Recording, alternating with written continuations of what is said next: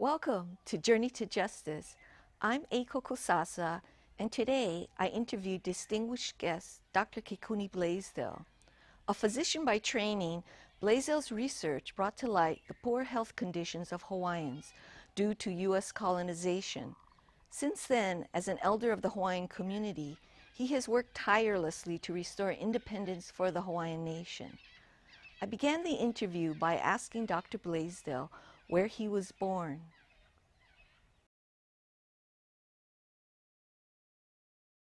I was born in Honolulu at the old Kapi'olani maternity home, which was the second, I learned later, Kapi'olani maternity home. And where was that And at that, this was in 1925, March 11th, 1925, and it is where the Mormon Tabernacle is now on Beretania and Punahou Street, Oh, ah, and where I think Foodland is also there. yeah. Uh-huh, yeah. Just ever of the big banyan tree, Yeah, big banyan tree. yeah. Uh-huh, so there was a big home there, private home, that became the second Kapiolani maternity home, and I was born there. Uh-huh. And that was March 11th, 1925. And where did you grow up? Where were you raised? Uh-huh. I was raised in Kaimuki. Oh, So our first home, my father and my mother, was on Pahoa Avenue, oh, a little cottage there, uh-huh. and the house is still there. Isn't that amazing? yeah. And that was three blocks uh, mauka of my grandfather and grandmother's home, maternal grandfather, grandmother's home, which was on 839 7th Avenue. Wow. And there are about six houses there now, but at that time it was one Wow. big home with a huge yard and over a half dozen mango trees. Uh, so I grew up in Kaimuki. Okay. And um, where are your parents from? Just genealogically, sort. Uh-huh. Well, eventually I had uh, two fathers and three mothers. So my first father Uh-huh. was James Keli'i Kauahi Akana. Uh-huh. But his father was Yim Akana from Guangdong, you know, Canton. Oh, And he came to the islands in the late uh, 1800s uh-huh, and was said to be a merchant. Said to be. Never entirely clear to me until later, which I'll tell you about it. uh-huh. And he married uh, Martha Akiao Kili'ikipi Wong Ham from Maui. Uh-huh. And they had 10 children. And my father was one, two, three, fourth child. And he was James Keli'i Kauahi Akana. And he went to McKinley High School. Mhm. And I think that's where he probably met my mother, who also went to McKinley High School. And they were married and lived in this little cottage on Pahoa Avenue. And they were both bookkeepers Oh, at that time for Grace Brothers, which was a heavy machinery uh, firm down on, I think it's now Pier 10 or Pier 11 uh-huh. at that time. hmm And are you were you the only child, or did you have other brothers and sisters? Yes, I'm number two. So my hiapo, number one Yeah. sibling, was my sister, Louise Evelyn Akana Blaisdell, and she married Frank Minton. So her name is Oh. Evelyn Minton now, Oh, and she's the mother of Nalani Minton, Yeah. Okay. which many of you know. Yes. Uh-huh. Yes. Oh, okay. I know you later attended uh, Kamehameha School. That's right. Uh-huh. Initially, uh, my parents were able to send both my sister and me to Punahou. Uh-huh. Oh. But when I was in the second grade, Mhm. my father died. So my mother had to put us into public school. So we lived in Kaimuki, so we went to Ali'iolani School. And uh, then I was admitted to Kamehameha School for mm-hmm. Boys on the mm-hmm. lower campus, where the Bishop Museum is now. 1936, I think. From there until 1942 on the lower campus. In 1940, the boys' school moved up on the mm-hmm. hill. All right, so I Kamehameha School for Boys was much smaller, military school, Yeah. and uh, curriculum was mainly vocational, uh-huh, blue collar. Right. So Right. at that time, the official policy of the schools was to train us to be blue collar workers, Oh, yeah. right? Yeah. And they added an extra year to our schooling. So we had 7th through 12th, but we had low 11th and high 11th and 12th. And high 11th and 12th grades, every two weeks, we went to work in the city. We had a job. Every two weeks, come back to school, finish school. So that by the time we graduated, we already had a job. Oh. So that was the plan. So I was an electrician at Hawaiian Electric Company. No, not Hawaiian. Hawaiian Pineapple Company. Dole then at that was Hawaiian Pineapple Company. Down at Iwilei. Mm-hmm. Every two weeks, went to work there, went back to school for two years. Mm-hmm. Wow. Okay. So then, when you graduated, so you work? Did you work? Go? No, To the pine- no. I worked when I was in school. Okay. But 19, December 7th, 1941, Oh. came during my senior year. Oh. I was oh. scheduled to graduate in 1942, Yeah. but Pearl Harbor came. Yeah. Right? The war was on. Yeah. So some of my classmates immediately went into the war. The pressure was, you know, join the military. Yeah. And my mother had died. My father had already died. My mother had remarried. Did I tell you about my mother remarried? Oh, No. 1940. 1940, when I was still at Kamehameha Schools, yeah. my sister was a senior, Uh-huh. Kamehameha School for Girls. My mother remarried, so I had a second father, Right. and his name was William Koha'i Blaisdell Oh. And he was a fireman at Okay. that time, and his father was a fire chief, Oh. Chief William Wallace Blaisdell. When I was a boy, he was a chief. Uh-huh. Yeah. So I got to know him through my second father. Yeah. Uh-huh. Yeah. And then, when I was in medical school, my mother died of lymphoma, Oh. and my father became fire chief, succeeding his father. Yeah. Uh-huh. So he remarried my third mother, Oh yeah. uh, who was Minna Cruz Ald, and she became a Blaisdell. And she'd had three children. And one of her children had been my classmate at Kamehameha. and then I was accepted for residency at the University of Chicago, where I had acquired my medical degree. So I went back. Yeah. And some of my old professors were still there, so they knew about me, so they accepted me. Yeah. So I finished my medical residency there and then became a subspecialist in hematology, blood. Blood. So I Ah. became a hematologist and remained on the faculty, was appointed to the faculty, doing research in hematology Mhm.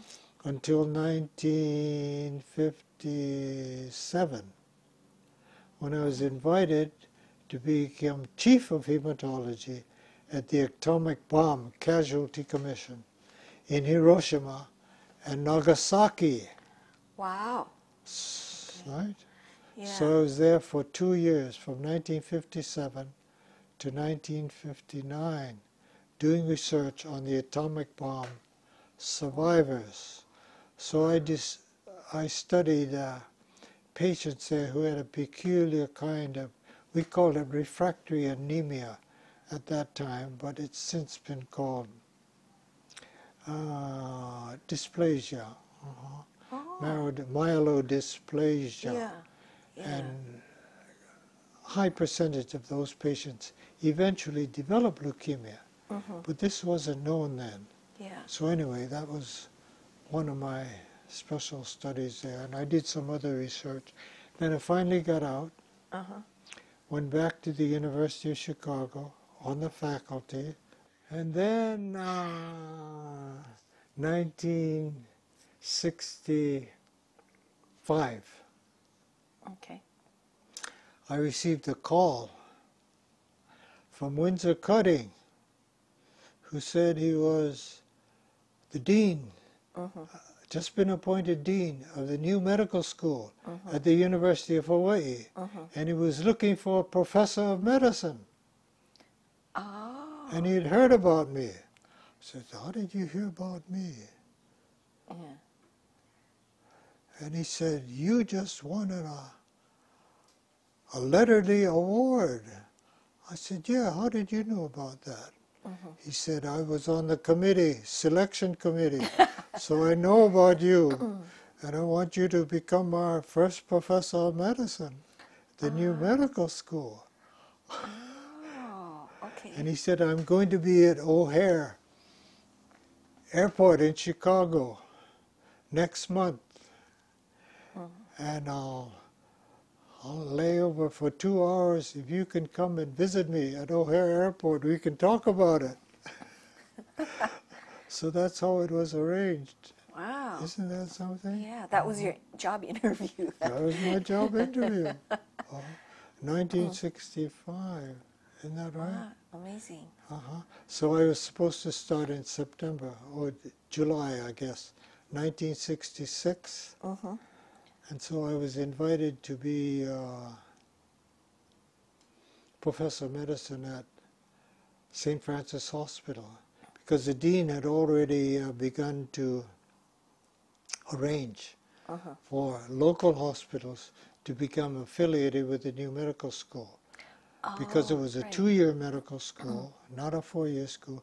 We didn't have a hospital, so we needed patients. Right. So he had to begin to arrange affiliations Yeah. with the existing hospitals here. And then you were head of the um, Department of Department Medicine. Medicine. And you stayed there until you retired in. When did you retire? Oh, yes. Well, then then we became a four-year medical school. Mhm.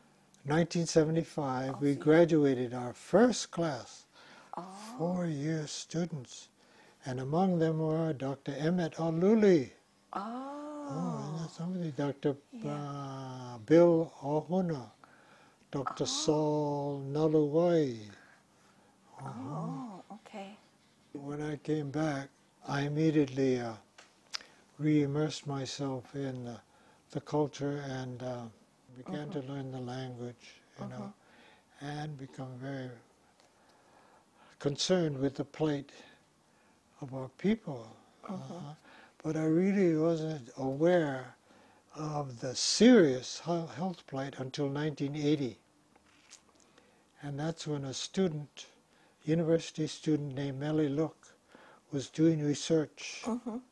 at uh, Department of Health during the summer on mortality, uh, differential morta- ethnic Yeah. mortality, that is Yeah. death rates Yeah. for different ethnic groups here. And Kanaka had the highest mortality rates, death rates, and continued to have the highest rates Wow. right when we began, right? Uh, Right. Right. and Piha Kanaka, pure Kanaka, Uh-huh. even higher rates Wow. than Hapa Kanaka. Wow. So I was fascinated. Why is this? Yeah. So I got interested and began to do more research with the student who did that study, and that was Mele Look. And I just had lunch with her. That's why I was late. and this is her monograph, which she eventually published. But the first paper was just one paper Mhm. published by the Department of Health, her name, Mhm. uh, and then later she followed up, published this monograph, and now she's one of the major researchers in our Department of Native Hawaiian Health Oh, in the medical school, yeah. uh, John A. Burns Medical School, which is separate from the Department of Medicine. So I retired from the Department of Medicine in the medical school in 2003. Okay. Okay? Yeah. And then Dr. Benjamin Young uh-huh. appointed me to new unit called Native Hawaiian Center of Excellence, which he had established in the medical school with federal funds. Okay. to support disadvantaged minority students. And that became the new department of Native Hawaiian Health, separate Oh. from the. Department of Medicine. right? Oh. So I'm a consultant in the relatively new Department Okay. of Native Hawaiian Health in the new medical school Kaka'ako Oh. Okay. campus. Uh-huh. Okay. And Dr. Ben Young has since left Mhm. that department and has officially retired, but we're still very close. Yeah. Okay, but then going back to your political consciousness Oh, yes. about Yes. Oh yeah, I forgot to Hawaii. answer that. Yeah. yeah. Well, I became I became more and more involved in uh, in documenting and and uh, analyzing uh, the health plight of our people. Okay. And then I, I acquired data that it wasn't confined to health, that we had not only the worst health indicators, you know, but also social and economic, right? Mm-hmm. We have the highest dropout rates from school system, the highest rates for incarceration mm-hmm. in the prisons, mm-hmm. right? We have the highest rates for poverty, right? So it's not just health. Right. It's across the board, right? Yeah. Therefore, got to do more Right. than just focus on health. Right. Uh-huh. And about that time, in the 1980s, Uh-huh. uh, well, even before that, huh, the so-called uh, not only Hawaiian Renaissance- Renaissance, but the Hawaiian sovereignty movement began to move. Uh-huh. For example, with the Kaho'olawe bombing, Yeah.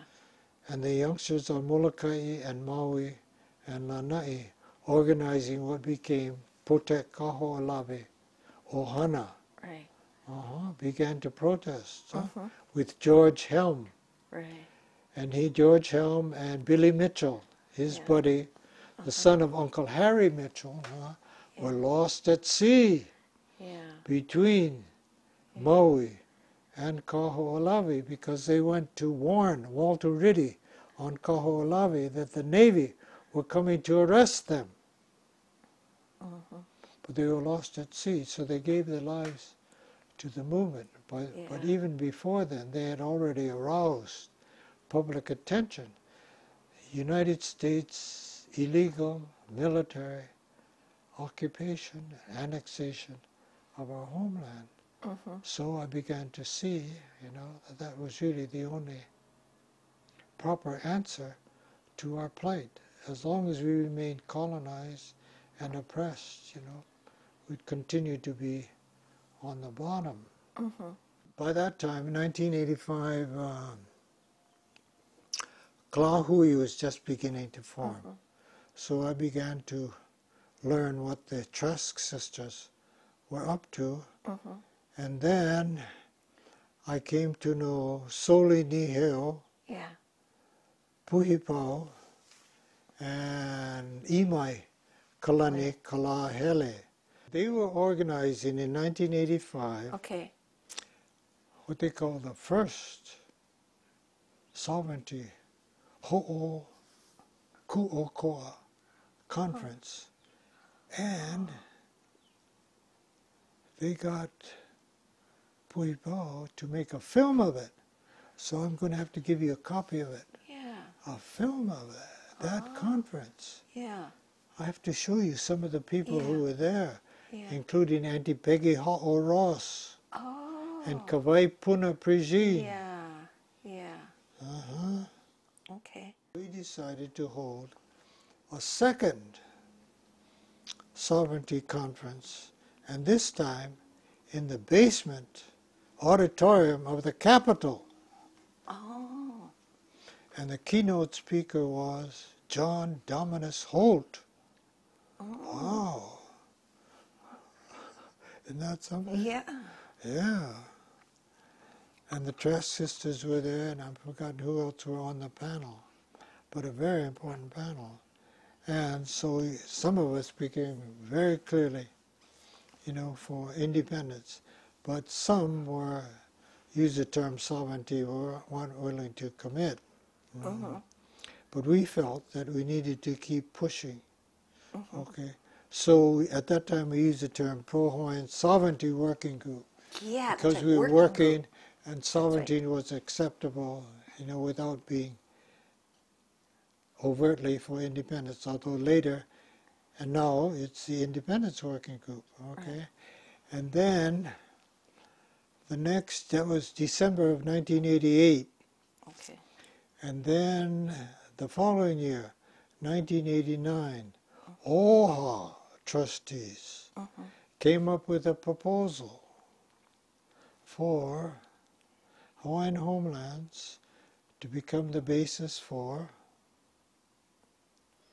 Hawaii as a nation within the state. And the OHA trustees and government would become the government Yeah. of this Hawaiian nation within a state. Yeah. So that was pushed by uh, So it was a state within a state or something. That's right. It's Yeah. pushed by Kina'u and uh, Frenchy, Mhm. uh, Clayton Hee, and Clarence. Clarence who? Ching. Isn't that his name? Yeah, Clarence Attorney. Koo? Attorney. Oh, Attorney. I don't know. He used to run Yeah. for office with flags out Koo. here. Koo. Yeah, And he's that's moved Clarence to Ching. Yeah, yeah, yeah. moved to Kamoela now. Huh? Oh, yeah. So right. they were pushing what they call blueprint. Yeah, that's right. And the blueprint, and they had this publication blueprint, Yeah, you know. it's glossy. Yeah, they went from island to island. And we decided we just had to oppose it. Uh-huh. So we invited any and everybody who opposed it to meet at Queen Lili'uokalani Children's Center down here at Kapalama Uh-huh. in the boardroom there. Uh-huh. And we formed an organization Uh-huh. against that. So I'll show you a document somewhere right there Okay. that formalizes that and gives our prospectus, Okay. okay, for that. So that's how that organization came about, Okay. all right? Yeah, I, I remember when independence was put in the title. So what is the relation what is that versus Ka Pakaukau? Is that part of the same Yeah, that's when Ka Pakaukau came to be. Now, Pa Kau Kau, if you look it up in the dictionary, one of the definitions is a table. Mhm. But of course, in pre-Haole,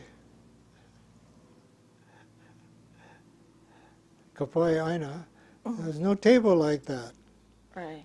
So, Pakaukau also refers to a kind of circle of elders, usually within an ahupua, who make major decisions Mhm. affecting the whole ahupua. Mhm. All right, but now we're talking about a whole nation beyond one ahupua.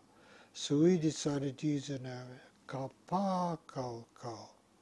Uh, give it a little change so you see that it's not quite the same, that it's something new, and to invite all who oppose the blueprint plan uh-huh. of OHA Oh, okay. to join us, all right? So, Ka Pakaukau, generally speaking, only Kanaka at that time who uh-huh. were concerned. Pro-Hawaiian Sovereignty Group later became Pro-Hawaiian Independence Group, Yeah. Kanaka and non-Kanaka, meeting ethnic studies Yeah. Oh, on the okay. Manoa campus. Okay. So similar organizations, but somewhat different Yeah. focus. Yeah. How did you look at independence? Because everybody else, especially Ka Lahui, was important, was the big uh, organization, and they were doing a nation. Powerful, uh-huh. Yeah. How did you come to, well, your, your decision of, supporting independence or, Well, because, you know, the more I thought about it and the more I talked about it and the more I read about it, right, becoming like an American Indian tribe was clearly not the answer. Look at the American Indian tribes. Mhm. Mhm. Uh-huh. Yeah. You know, so we're not an American Indian tribe, right? Yeah. And we don't want just whatever land they decide we're going to have. We have to have it all. Right? Yeah. And we have to establish our own, restore our own government. And we have to establish diplomatic relations with the rest of the world. We have to become full-fledged member of the United Nations General Assembly. Mhm. You know, it's the only way, right? And we're not Americans. And we're not pro-military. We're anti-military, right? Yeah. And we're not capitalists that are, continue to destroy the sacred environment. We need to become self-sufficient. Mhm. 85% or so of the food we have to import, Yeah. wrong direction, Yeah. right? So we have to do it. America isn't doing it. Yeah. America's here primarily military base. Yeah. That's why they're here. Secondarily, make money. Yeah. Tourism, golf courses, hotels. Mm-hmm. Uh, More and more tourists, Mm-hmm. right? And we're still on the bottom, Yeah. and we're not going to get out of the bottom, you know, unless we're independent. So, you know, I just came to that realization, right? We respect America, but we're not part of America.